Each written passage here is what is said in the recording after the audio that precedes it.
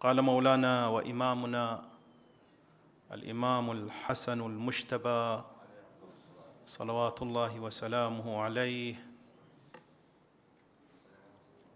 أنا ابن البشير أنا ابن النذير أنا ابن الداعي إلى الله بإذنه أنا ابن السراج المنير. أنا من أهل بيت أذهب الله عنهم الرجس وطهرهم تطهيرا.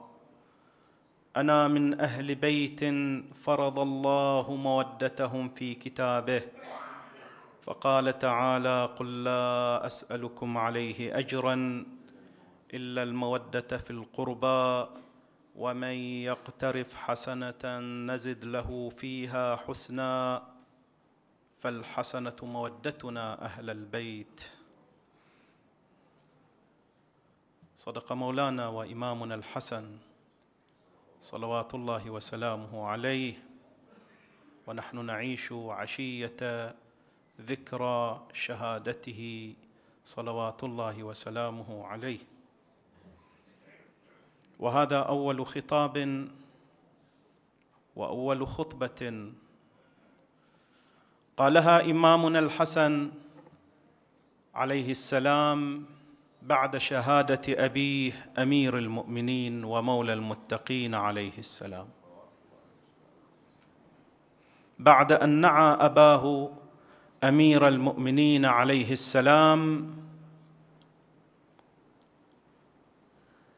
وجه الأنظار إلى شخصه الكريم الذي هو امتداد إلى طريق أبيه أمير المؤمنين وإلى طريق النبي صلى الله عليه وآله حيث طريق الإسلام والدين والمنهج القويم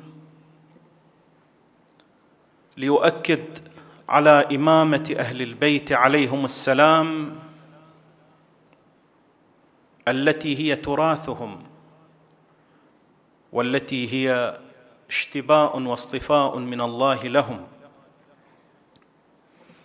وبهذه المناسبة نعزي العالم الإسلامي والأمة الإسلامية وشيعة أهل البيت على وجه الخصوص وعلى رأسهم العلماء الأعلام بهذه الذكرى الأليمة ونوجه تعازينا ومواساتنا إلى مولانا صاحب العصر والزمان أرواحنا لتراب مقدمه الفداء في شهادة هذا الإمام المظلوم المسموم. ونقتبس من حياته الشريفة وسيرته المباركة بعضا من الدروس لأنه إذا مرت علينا ذكر الإمام عليه السلام نحن نعيش أمام عطاء نعيش أمام مدرسة نأخذ منها الدروس ونستلهم منها العبر. وسيرته العطرة كلها مليئة بالفضائل والمكارم والأخلاق والمثل والقيم. التي تأخذ بالإنسان إلى حيث السمو العلمي والفكري والاخلاقي والايماني والتقوائي والوعي في هذه الحياة. جانب من جوانب حياة الإمام عليه السلام ألا وهو الورع الذي كان يتصف به الإمام عليه السلام وعلاقته بالله سبحانه وتعالى. هذه الصفة التي يحتاج لها كل مؤمن ويلزم منه بحكم علاقته بالله وعبوديته لله سبحانه وتعالى أن ينمي هذه الصفة في نفسه ويعزز هذه الخلة في ذاته. لننظر إلى إمامنا الحسن عليه السلام. فقد قال المؤرخون كان له توجه خاص لله سبحانه وتعالى. وهذا التوجه كان يظهر أحيانا على ملامح وجهه وأحيانا أثناء وضوئه حين يتوضأ. فكان يتغير لونه ويرتجف أو ترتجف أعضاؤه. وحين كان يسأل عن سبب ارتعاد فرائصه الفرائص هي أعلى الكتف والعظمتين العلويتين من الصدر. كان يجيب عليه السلام وكيف لا؟ وأنا واقف أمام الله جل وعلا. فحق للإنسان أن يرتجف وترتعد فرائصه من الله سبحانه وتعالى. لاحظوا هذه الحالة من الإمام عليه السلام. كلنا يمر علينا هذه الحالة اليومية أي أننا نتوضأ وأننا نتوجه إلى الله سبحانه وتعالى وأننا نصف قدمينا إلى الله سبحانه وتعالى. لكن الأئمة عليهم السلام والإمام الحسن هنا يقول أن حقيقة هذه العلاقة بالله في هذه المواضع لا تكون من خلال الأعمال الظاهرية التي يأتي بها الإنسان. من وضوء ومن من قيام أو وقوف بين يدي الله سبحانه وتعالى. هذه لا تعطي حقيقة للعبودية بقدر ما تعطيه ذلك الاتصال المعنوي بالله سبحانه وتعالى في مثل هذه المواقف. العبادة لله سبحانه وتعالى ليس كل عبادة توصل إلى الله سبحانه وتعالى. ليس كل عبادة توصل إلى الله سبحانه وتعالى. الإنسان إذا صلى إذا وقف بين يدي الله سبحانه وتعالى قد يقول أنا صليت أنا توضأت ووضوئي صحيح وأنا صليت. ولكن هذا لا يدرك بأن هناك فرقا بين الصلاة وإقام الصلاة. هناك فرق بين الصلاة وبين إقام الصلاة. أنت أحيانا تصلي واحيانا لا تقيم الصلاة. تقول ما الفرق بين هل أقيم يعني أؤذن وأقيم؟ فأكون أنا من الذين أقاموا الصلاة أم لا؟ لا. ليس معنى أنك تؤذن وتقيم فتكون من الذين أقاموا الصلاة. تلك أمور يحبب لك أن تأتي بها لتعينك على التوجه إلى الله سبحانه وتعالى والعروج إلى الله سبحانه وتعالى. صلى على محمد وعلى محمد.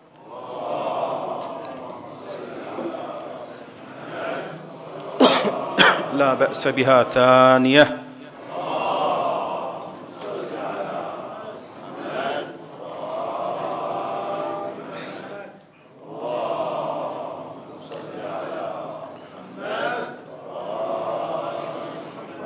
ثانية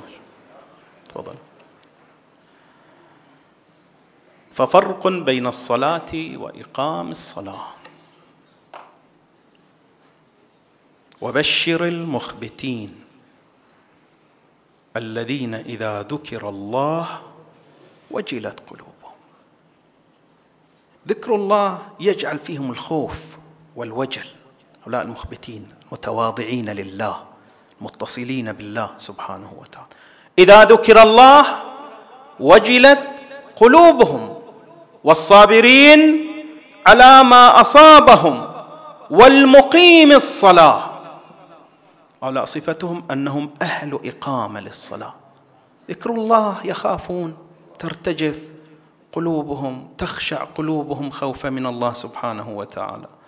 وفي نفس الوقت هم أهل صبر وتحمل في هذه الدنيا وهم أهل إقامة للصلاة ومما رزقناهم ينفقون أهل عطاء. هذه صفات الإنسان المؤمن نجدها في الإمام الحسن سلام الله عليه. الإمام الحسن حياته كلها دروس عملية للإنسان. أرجع أقول إذا ما الفرق بين الصلاة وإقام الصلاة؟ لاحظوا القرآن دائما حينما يأمر الإنسان بالصلاة لا يقول له صلي. لا يقول للمؤمنين صلوا. ولا يقول حينما يصف المؤمنين صلوا. وإنما يقول أقاموا الصلاة. أقم الصلاة لذكري يقيمون الصلاة. دائما الإقامة تسبق الصلاة. لماذا هذا التأكيد؟ وما معنى ذلك؟ تأكيد على ذلك أن الصلاة بدون إقامة أي بدون أن تكون الصلاة طريقا إلى الله وبدون أن تكون الصلاة بمعنى أن تكون اتصالا بالله سبحانه وتعالى هذه لا توصل الإنسان إلى الله سبحانه وتعالى. قد تبرأ ذمتك لا يقال عنك صلي بعد ذلك لا يقال عنك ماذا أقضي الصلاة؟ لا تبرأ ذمتك من الناحية العملية والفقهية. ولكن الإنسان لا يسعى إلى أن تبرأ ذمته بقدر ما يسعى إلى أن تقبل صلاته. وقبول الصلاة مرتبط بإقام الصلاة بأن تقيم الصلاة مو فقط تصلي. لا أن يكون هذا الإنسان صلاته كصلاة نقر الغراب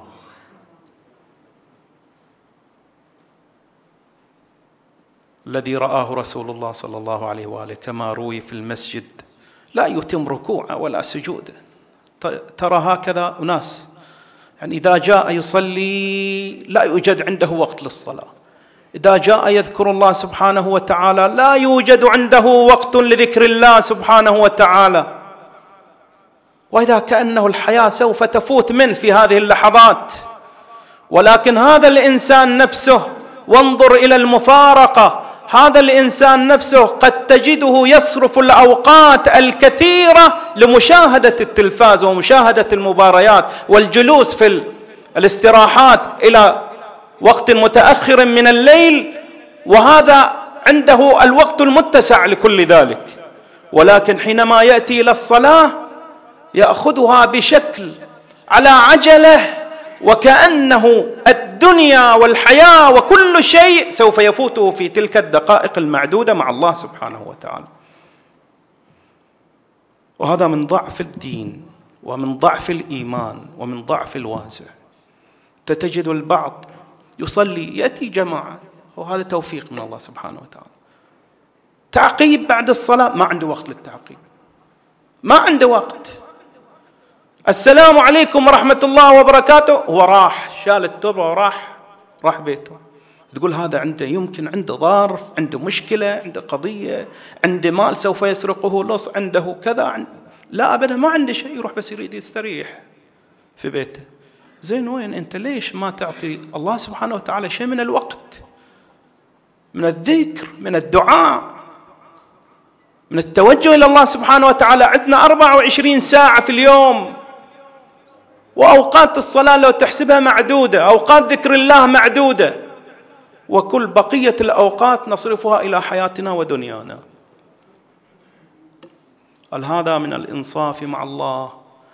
هل هذا من تحقيق العبودية لله سبحانه وتعالى؟ الإمام الحسن عليه السلام يعلمنا درس في هذا الجانب. ننتبه إلى هذه القضية. لا وبعد لا. هذا الإنسان هم الدقائق المعدودة التي لله هم ما يصرفها لله سبحانه وتعالى.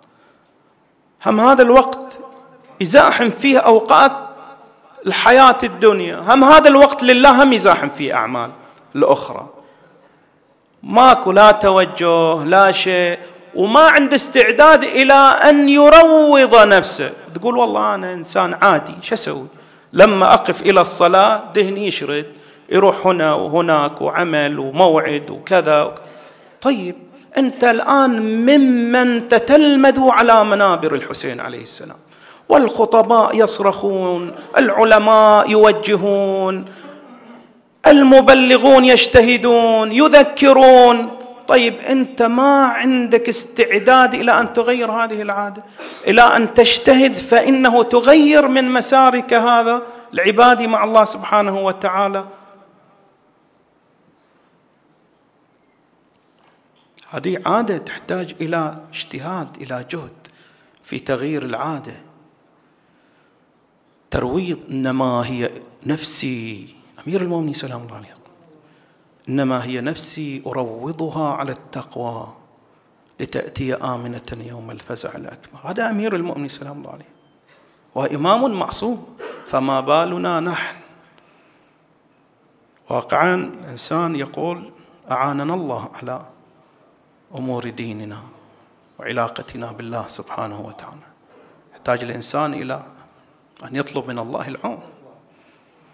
لكن يحتاج الإنسان إلى أنه ينتبه إلى هذا الجانب ينتبه إلى هذه القضية وهي كيف أن تحقق العبودية لله سبحانه وتعالى وتحقق الورع مع الله سبحانه وتعالى. مو إذا كبر الله أكبر شو بيصلي؟ وإذا راح إلى الدنيا ما ينتبه إلى الصلاة إلا ما يقول السلام عليكم ورحمة الله وبركاته. انتبه إنه قاعد يصلي. انتبه قاعد يصلي. لهذا بعض الأمور المستحبة جيد تعين الإنسان أنا قلت ذلك. الأذان يستحب. ليش بعض الشباب ما يأذن لما يجي يصلي؟ ليش ما يأذن؟ أول ما يجي يستقبل القبلة الله أكبر. طيب ليش ما تأذن؟ لماذا لا تقيم؟ أذان والإقامة هذه من طرق التوجه إلى الله سبحانه وتعالى أنت تهيئ قلبك. تعرف هذه ألفاظ الأذان والإقامة تفعل فعلها الروحي خصوصا إذا كان عندك توجه. تفعل فعلها الروحي على النفس والقلب والسلوك وتهيئك على أنك في محضر الله سبحانه وتعالى. شوف رفع التكبير يقول العلماء هذه هذه الحركة هذه مستحبة مو واجبة مستحبة الواجب والركن هو تكبير صح ولا لا؟ هذه تعرف أنه حينما تقول الله أكبر وتعمل يعني المستحب الذي يقوله العلماء أنك تقول الله أكبر وأنت رافع يدك كأنما أنت تبعد عن سمعك وعقلك وتفكيرك كل وساوس الشيطان وإبليس. بقول الله أكبر لكن تحتاج إلى توجه. هذه كلها أمور ومقدمات تعين الإنسان على التوبة وبعد استحضار القلب حضور القلب. وجهت وجهي. شوف أنت أول ما تقول. قبل تكبيرة الإحرام وجهت وجهي للذي فطر السماوات والأرض. حنيفا مسلما وما أنا من المشركين. توجه نفسك قلب قلبك كيانك كل مشاعرك لله سبحانه وتعالى. وتستحضر القلب. تستحضر القلب. هذا يعينك على هذا الطائر الذي يتنقل من غصن إلى غصن أن تقيده. وتركز وتوجه بالصلاة لله سبحانه وتعالى. حالة تنقل الذهن وشرود الذهن في الصلاة تحتاج لترويض. اقرأوا الآداب المعنوية للإمام الراحل رحمة الله عليه. جدا نافع لكل شاب يريد أن يتوجه إلى الله سبحانه وتعالى. عجيب هذا الكتاب. يعالج كثير من الأمراض للإنسان ويعالج هذه الحالة التي تكون للإنسان في الصلاة بشكل خاص. أرجع. انظروا إلى هذه الرواية عن الإمام الصادق صلوات الله وسلامه عليه. ماذا يقول؟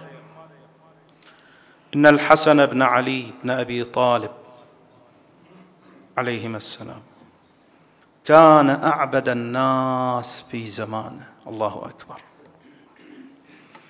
كان أعبد الناس في زمانه وأزهدهم وأفضلهم. وكان إذا حج حج ماشيا وربما مشى حافيا. وكان إذا ذكر الموت بكى وإذا ذكر القبر بكى وإذا ذكر البعث والنشور بكى. وإذا ذكر العرض على الله تعالى ذكره شهق شهقه يغشى عليه منها. سلام الله عليك يا مولاي. يا أبا محمد يا حسن بن علي الزكي أختم والحديث كما قلت حديث شيق عن الإمام الحسن عليه السلام. ولولا رعاية للوقت لاسترسلت في الحديث عن الإمام عليه السلام في كثير من صفاته. لكن أختم خطبتي هذه بتلك الوصية التي أوصى بها جنادة وهو أحد أصحابه وهي وصية لنا. هذه الإمام أوصاها وهو على فراش الموت. أذكرها بدون أي تعليق. قال عليه السلام استعد لسفرك. وحصل زادك قبل حلول أجلك. واعلم أنك تطلب الدنيا والموت يطلبك. ولا تحمل هم يومك الذي أنت فيه.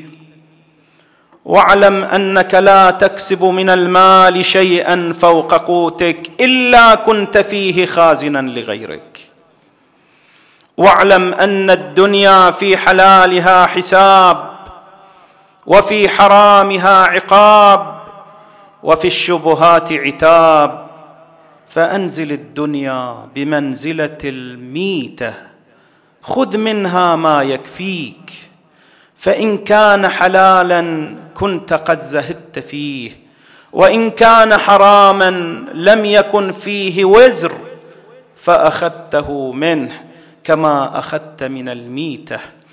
وإن كان العقاب فالعقاب يسير. واعمل لدنياك كأنك تعيش أبدا. واعمل لآخرتك كأنك تموت غدا. وإذا أردت عزا بلا عشيرة وهيبة بلا سلطان فاخرج من ذل معصية الله إلى عز طاعته عز وجل. واذا نازعتك إلى صحبه الرجال حاجة فاصحب من اذا صحبته زانك واذا اخذت منه صانك واذا اردت منه معونه اعانك وان قلت صدق صدق قولك وان صلت شد صولتك وان مددت يدك بفضل بفضل مدها وإن بدت منك ثلمة أي عيب. وإن بدت منك ثلمة سدها وإن سكت عنه ابتدأك وإن سكت عنه ابتدأك وإن نزلت بك إحدى الملمات. وإن نزلت بك إحدى الملمات وأسا وآساك من لا تأتيك منه البوائق. ولا تختلف عليه منك الطرائق ولا يخذلك عند الحقائق وإن تنازعتما منقسما آثرك. هكذا الإمام راح يوصي جنادة وهو على فراش الموت بأبي هو وأمي ينازع حرارة السوم التي صارت تقطع احشاء حتى قذف شيئا من أحشائه في ذلك الطشت. قطعا كأنها الكبد. تعرف السم كيف يعمل في في الأحشاء. وكيف أنه يجمد الدم. ولما جمد الدم وصار قطعا في جوف الإمام لفظه من أحشائه. ليوصفه الواصفون قطعا من كبده. يعني قطع دم متجمده كأنها الكبد. سلام الله عليه. حتى أنه كان يخفي ذلك الطشت حتى عن أخواته وأخته زينب. سلام الله عليها. لماذا؟ حتى لا تتأثر زينب. وهي ترى احشاء أخيها في ذلك الطشت. يخاف على مشاعر زينب. لا تبكي زينب. لا تتأثر زينب. أقول له مولاي أبا محمد يا حسن أنت خفت على مشاعر زينب. أن ترى هذه القطع ها؟ في ذلك الطشت. اذا كيف لو رأيتها وهي واقفة في يوم كربلاء أمام أخيها الحسين ورأته مقطعا اربا اربا. موزع الأشلاء مقطع الأعضاء وهي تنادي وحسينا. وقالت اليوم مات جدي المصطفى اليوم ماتت أمي فاطمة الزهراء اليوم مات أخي الحسن المجتبى. اي حسيناه وحسناه ومصيبتاه.